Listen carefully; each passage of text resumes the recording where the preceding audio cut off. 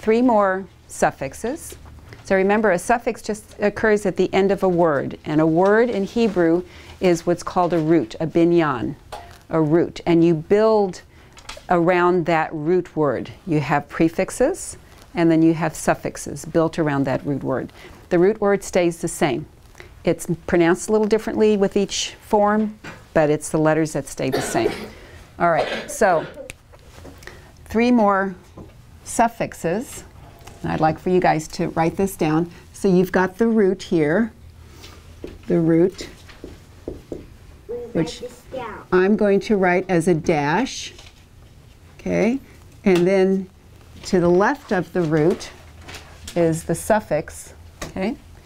If you have a, yeah, it says you're going to write down. If you have a yud and a mem sophit,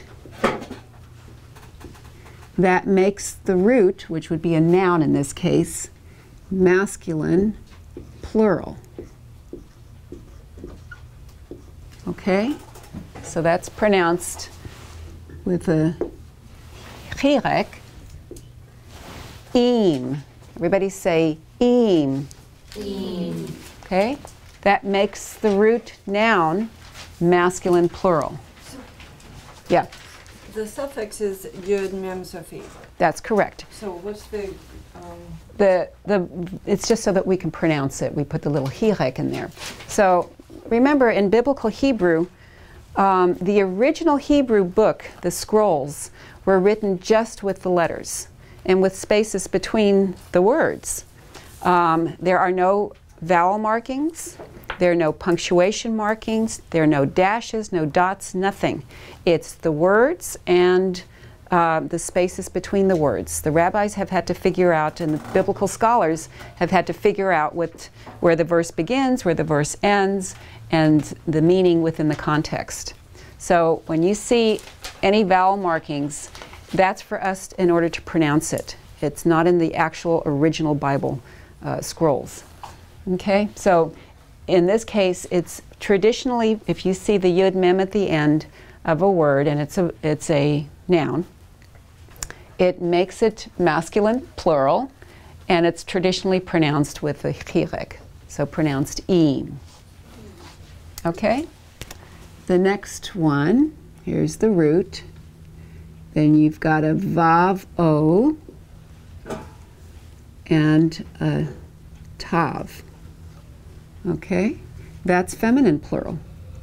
Now, okay, so and that's pronounced oat. Say oat. Oh, All right? So when you see a noun as the root, and it has the vav o and the tav at the end, pronounced oat, it makes the noun feminine plural. Okay?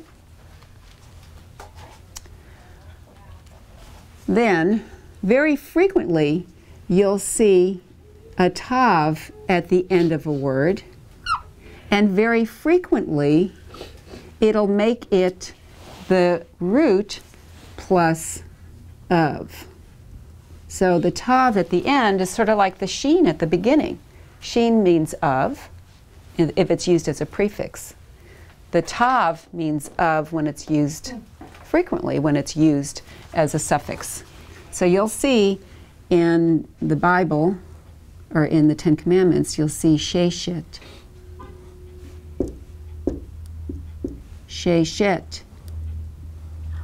The word shesh is the root, which means six. And sheshet means six of. Is this still part of the top one? It is. Okay, so I'm just giving you an example of this particular tav. All right? So sheshet means six of. So frequently, not always, there are always exceptions. That's the one thing about the Bible. there are always exceptions to the rules.